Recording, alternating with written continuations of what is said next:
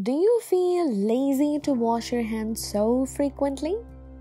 Are you fed up already? Let me tell you a story. This story dates back to that era when microorganisms were not yet discovered.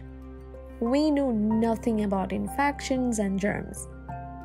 The story is about a man who changed the world.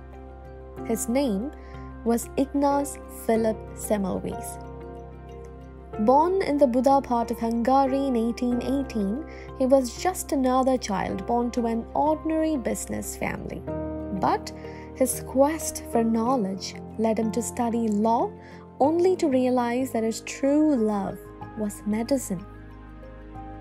After finishing his medical degree in 1844, he joined the Vienna General Hospital to specialize in obstetrics. He was the junior most, but very enthusiastic doctor in the team. In those days, maternal death was very common, especially if you were delivering in a hospital. Out of 3,000 mothers who delivered babies at his hospital, about 600 died of puerperal fever, also known as childbed fever, each year.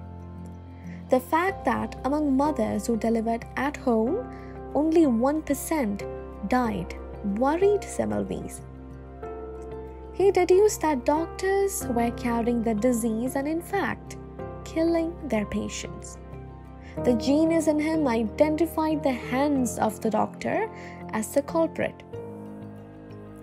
To think of something like that when you were totally unaware of the disease causing organisms, forget the way they spread he established his theory by decreasing the maternal mortality rate of his clinic to straight 1% after introducing chlorine water to wash their hands between patients.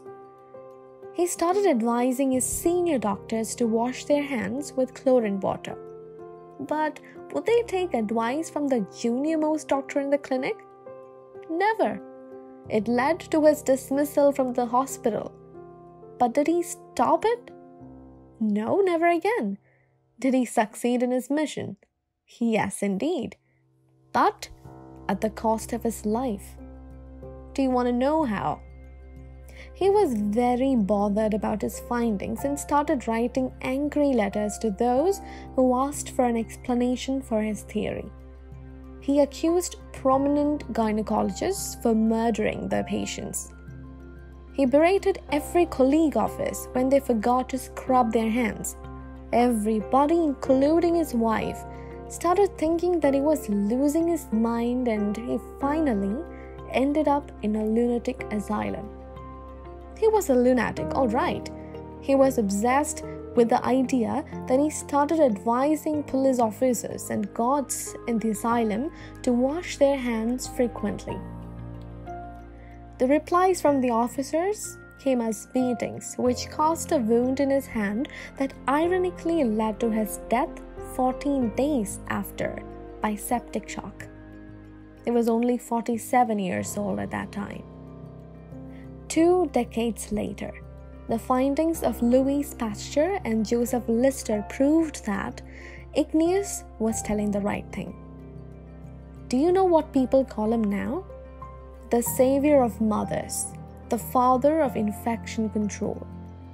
But by the time he got the reputation he deserved, he was buried deep under the grave. So, my dear friends, when you feel irritated by frequent hand washing during this time of pandemic, just remember people have died for this cause. You and I would not have survived if not for their sacrifices. They are the martyrs of medicine, the real heroes. So, dears, please wash your hands, break the chain, and do not stop the fight against Corona because we have to win this battle.